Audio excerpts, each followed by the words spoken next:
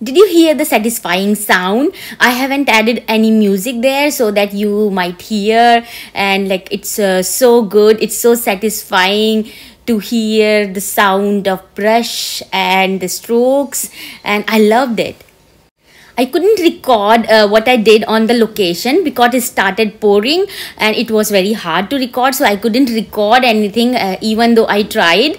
Uh, so I did some sketches and I came back with those sketches and I, I did the final painting in the studio, um, which was uh, okay as you can see here I have made use of a roller here because I wanted to give it a different nice texture and a special look uh, and a feel. So I have used varied marks and a different strokes of roller to give it a look. Uh, I'm, I'm quite happy with how it looks now. Um, let me know what you think